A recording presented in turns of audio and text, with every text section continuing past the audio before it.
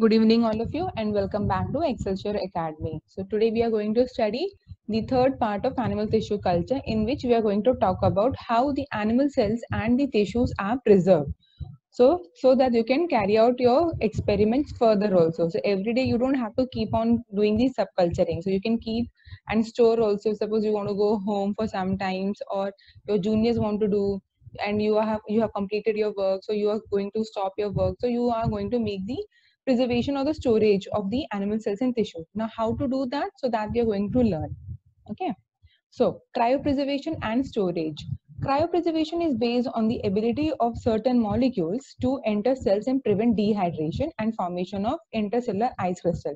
Now, this is the important part because what happens is when you uh, keep anything inside the freezer, okay.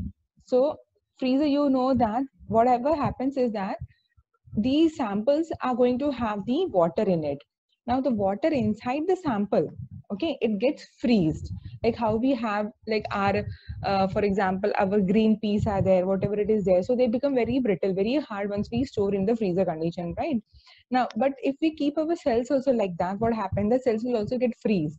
But the problem is that if inside the cell, if any bacterial or eukaryotic cell inside it if any ice crystal forms, what will happen is all the enzymes will get Uh, voice breaking, ma'am.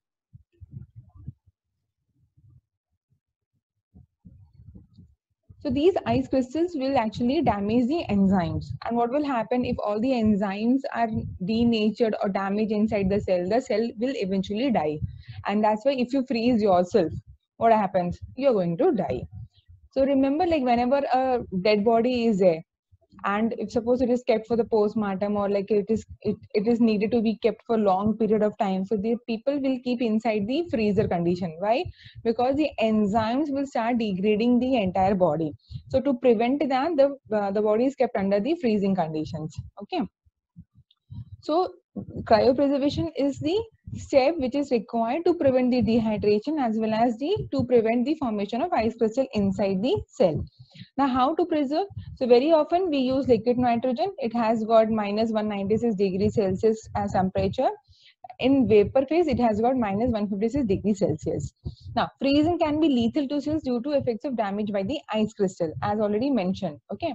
So what will happen? You have the cells in the cytoplasm, so much of water is present.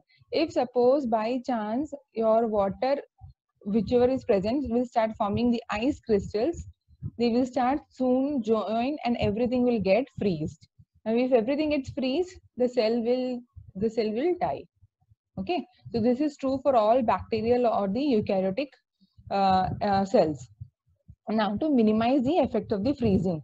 So in each lab we have certain cryo now there are certain cryoprotectants. Okay? So these cryoprotectants they are actually preventing the ice crystal formation. So one best example is DMSO, that is dimethyl sulfoxide. It's actually an organic compound. Okay.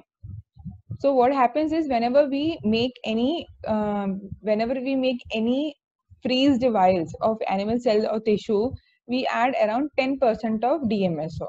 Okay. So we in the vial, it's actually total 1 ml is there. So 10% of 1 ml is how much? It is 100 microliter. So 900 microliter will be your media having the serum. Okay. Now, why serum is required? Serum in high percentage is required because it has got all the growth factors and everything. So, it will keep your cells, you know, live. And DMSO will help in preventing the ice crystal formation. Okay. Now, what, uh, now, as in the case of bacterial growth curve, you know that there is a lag phase, then log phase, then you have the stationary phase and the death phase, right? Similarly, in animal cells also, we have got the lag, log, stationary, death phase. So whenever you want to do your freezing or you want to make your stock, okay, you're going to use the log phase culture. So initially what you're going to do, first take the culture, do the subculturing, okay. Now get the culture in your log phase. Then use trypsin to remove the attachment of the cells to the plate, take them, wash it with the uh, PBS, centrifuge it, add serum, and then add 100 microliter of DMSO. Then finally, what you have to do is take that vial and put into the liquid nitrogen. Okay. Now there are certain containers in which you're going to put. So they are called the cryo box and all. So you, these are vials are called cryo vials. Cryo vials will be put into the cryo box and the entire box will be kept inside the liquid nitrogen till the further use. So whenever you wanted to use, you are going to take that time only out. Since liquid nitrogen is highly volatile, what happens? With the passage of time, the liquid nitrogen starts getting evaporated. So it will start reducing its level. So every alternate days or depending on the container, you need to add liquid nitrogen continuously. Otherwise, entire liquid nitrogen goes, then the entire storage of your uh, animal vials will be damaged. Okay. Now, how exactly to do this thing? So you are going to take the log phase culture, okay, and then they are slowly cooled from room temperature to minus 80 degrees Celsius and allow the water to move out of the cells before it freezes, okay. So how you're going to do? The rate of cooling is 1 to 3 degrees Celsius per minute. Now, exactly in the lab, how we carry out this is, first you take the cells, put into the ice, okay. So vials are there, in that your animal cells are there. You keep the vials on the ice. Now from uh, after kept on the ice now if it is on the ice keep it for around 20 to 60 minutes so like one hour. Then you go for further it is like minus 20 degrees celsius you go okay? That in the freezer you are keeping in the fridge freezer. Then after that you're going to keep into the minus 80 then from minus 80 you're keeping in the minus 196 degrees celsius so entire day it will take in order to freeze your sample. So understood. So first you're keeping on the ice. Then take the vials, keep in the freezer minus 20 degrees Celsius. Then keep in minus 80 and then keep in your liquid nitrogen. Okay, so this is your liquid nitrogen temperature. So this is how you do your freezing. Now, if you want to take out your sample for your research, then what you're going to do? That is called thawing, right? It's freezing and thawing. So thawing suddenly. So from minus uh, 196 degrees Celsius, suddenly you have to bring it to the room temperature and add the media. So that's how you carry out your experiment. If you do the thawing very slowly, like again the reverse, minus 196 to minus 80, then minus 20, then ice, then room temperature, what will happen?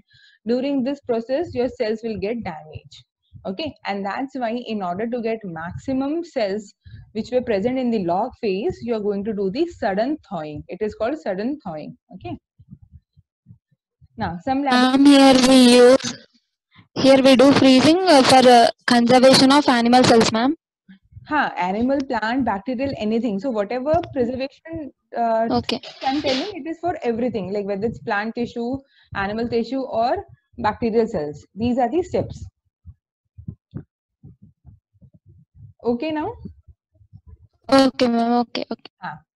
So there are certain laboratories which use isopropanol also. So if you touch or use uh, isopropanol on your hand, so you will get that uh, cold sensation, right? So there are few people who are using isopropanol also before they start doing this freezing. Okay. Now the effect of isopropanol is to allow the tubes to come to the temperature of the freezer slowly at about 1 degree Celsius per minute.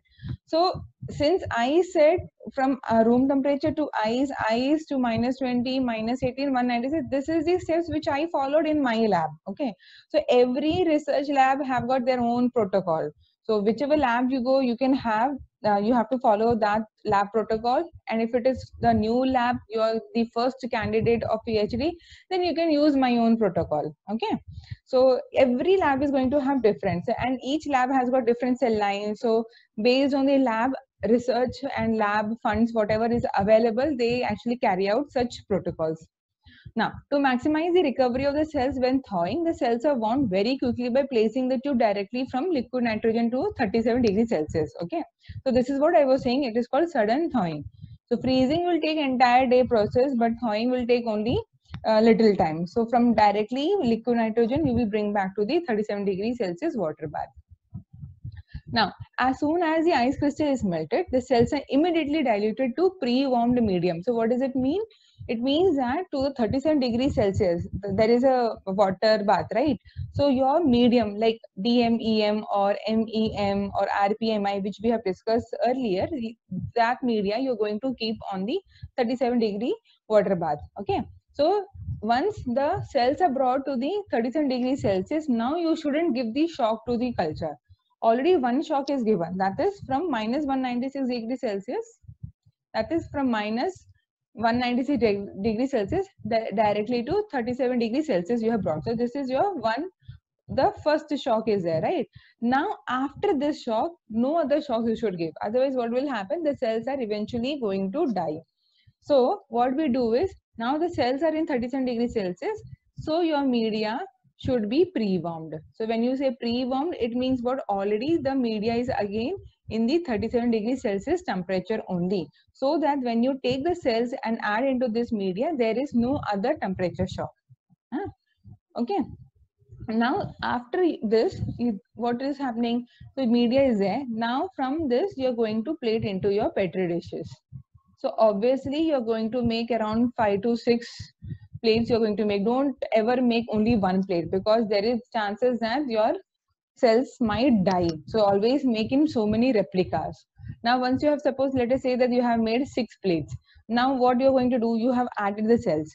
Observe under the microscope whether the plate is actually having the cells or not of course it will take time to adhere onto the surface right just first observation is that you're going to observe first thing is that whether the cells are transferred or not now if you see under the microscope something like this it means that cells are there.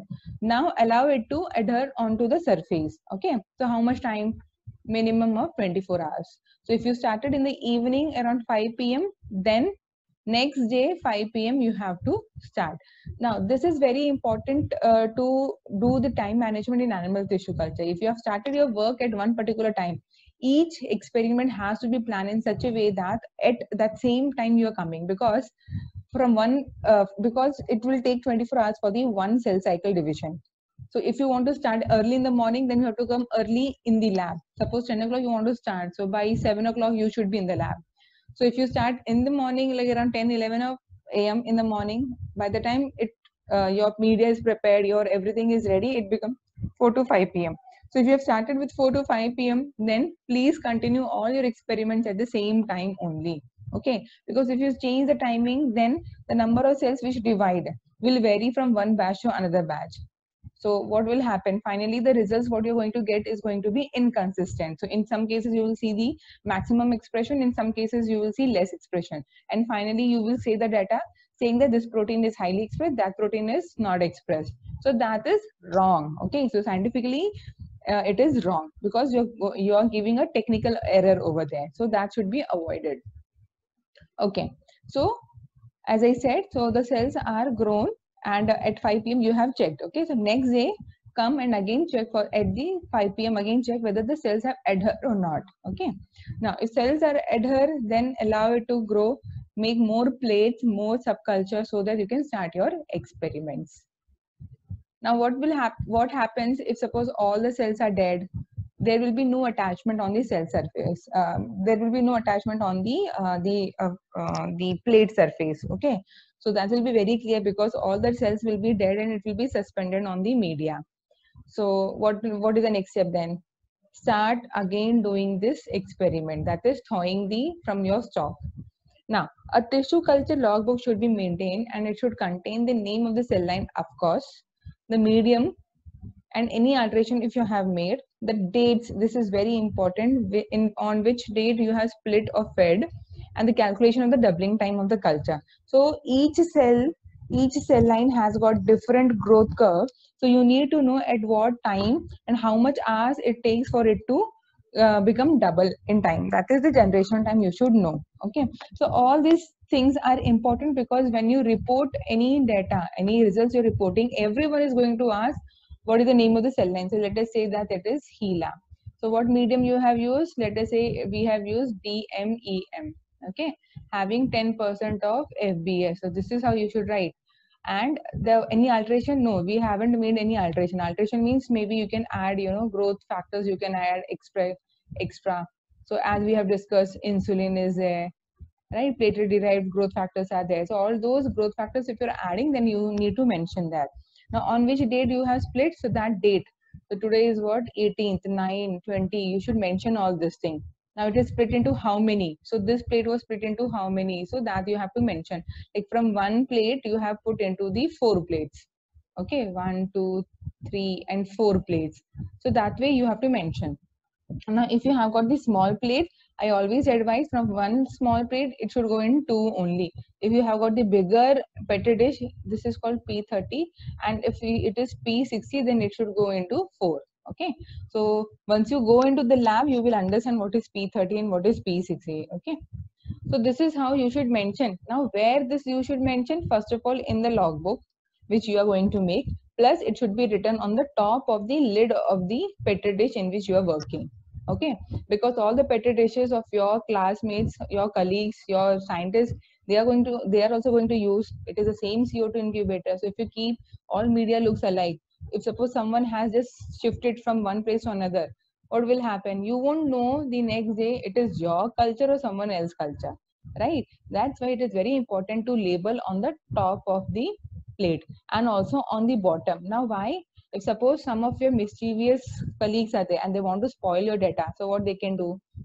If suppose two plates are there right? And if you have labeled this as something else this as something else. By chance because of some enmity or jealousy this lid will go here and this lid will go here. What will happen then?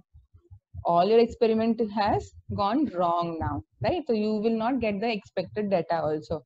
So that's why to be on safer side whenever there is a petri dish is there like this okay it has got the lid like this on the top you should label on the bottom also you should label okay now labeling simple marker is required. Don't stick something else because under the microscope you need to observe also. So don't stick it uh, anything. Just use your simple marker and label it. So whatever I'm telling, I'm telling from my own experience. Okay. Yes. So there are uh, two major cryoprotective agents, dimethyl sulfoxide and the glycerol. So it is generally used for the RBC, the glycerol, and DMSO is mainly used for the other cell lines and tissues. So I have used DMSO every time 10%. If I'm making 3 ml uh, freezing vial, then I'm going to add how much? What will be the 10% of that? 300 microliter. Okay, so always 10% of the 10% uh, uh, of the media you have to add the DMSO.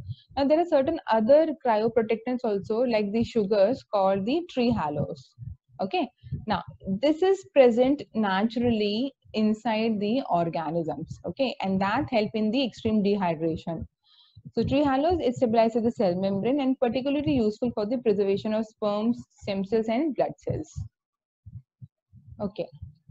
Guys are you getting it? Am i going fast? Are you able to understand? Yes. Okay. So this is how your machine looks like. So this is your uh, cryo gloves. So using these gloves only you are able to touch the um, liquid nitrogen. Otherwise it's very difficult because it will burn your hand. And if you put your hand or anything inside the liquid nitrogen directly what happens? It is dead. Okay? That portion will become brittle like stone. And if suppose something hits it becomes like powder. So you will lose that part of your body. So be careful. Don't play with liquid nitrogen. So this is okay lab coat is there. Protective gears are there. Now these are called the cryo box in which I was mentioning, right? In this, you have got the cryo vials. Now, if you use normal vials, what will happen? Because of the sudden decrease in the temperature, the vials will burst out. Okay, so that's why special vials are there. It is called cryo vials and those are kept into the cryo box. So how many you can keep at a time? 96. So in this, you have got the 96. It is like 12 by 8. Okay. Now, these are the containers in which you label as lane 1, 2, 3 and 4. Now this is entire the container of your liquid nitrogen, right? So what you are going to do? So you need to remember in which lane, which box, which number. Like this is a box, right? Suppose this is your cryo box. So you need to label this also. So you need to remember in which row column you have kept your sample. So all this should be written in the logbook because it is in such a extreme cold condition that you cannot keep the vials outside for a long time. So that's why you should know. Suppose i wanted to take from the lane one okay? So directly i'll just open this. I know it is present on the you know some column. I'll just take out that keep it inside and this. So everything this work of taking out the sample should be finished in the five minutes work okay and one more thing is that this entire this liquid nitrogen container it's very big okay? If you cannot open yourself please take the help. Do not try yourselves. Okay? So this is how your cryo sorry this is how your liquid nitrogen uh, freezing container looks like. Okay. Now what are the requirements in order to carry out the preservation of the animal cells okay? So now when i say confluence stage it means 90 percent of the animal cells are in the log phase. Now 50 ml centrifuge tube cryovial serological pipette and centrifuge with uh, rotor. Why it is needed? Because first of all the plates are there having the culture right? You're going to add trypsin. Why trypsin? So that the cells will detach from the surface. Now add uh, media in order to inhibit the activity of trypsin. Now what will happen? With the media plus you have got the cells, right? Centrifuge them. So since it is animal cells and if you increase the speed over here, what will happen? The animal cells will rupture because of the centrifugal force. So we'd hardly use around 2000 RPM. Hardly 2000 RPM for one or two minutes. Okay. So what will happen? The cells will come into the pellet now take this pellet, wash it. How you're going to wash? Again add 1x PBS. What is PBS? Phosphate buffer saline. Okay. Now wash it. After washing again centrifuge. Then centrifuge again 2000 RPM for 2 minutes. Then add media. Okay. Add media then add DMSO. Now after this addition put it into cryo vials. Then put into liquid nitrogen. Okay. Not the liquid nitrogen, but the other steps like from the ice, minus 20, minus 80, and then liquid nitrogen. So this is how you carry out your entire procedure of preservation. So now you know why we need everything. So everything we have used now pipette to transfer from the petri dish to the vial. So now you know everything why we need PBS we have used, media we have, trypsin also, serum. Now serum and media together it will be there and DMSO. DMSO how much? 10%. Then your uh, serum how much? 90% and few people what they do they take media and serum together and then they add okay so what is the ratio now in 1 ml uh, so vial is cryo vial is made up of uh, it is having 1.5 ml capacity. In that you will add only 1 ml not more than that. So 900 microliter will be your media and 100 microliter will be your DMSO okay?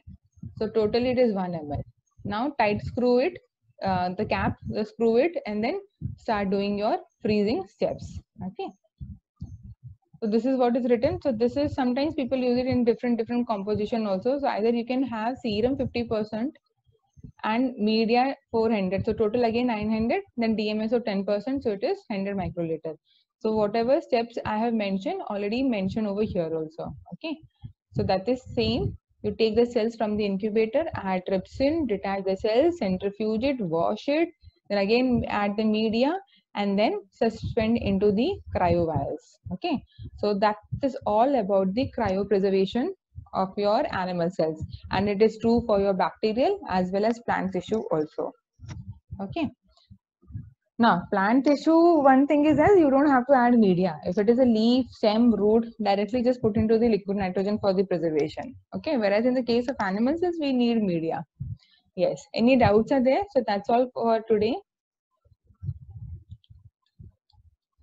Any doubts? No. Okay, No, thank ma'am. you, people.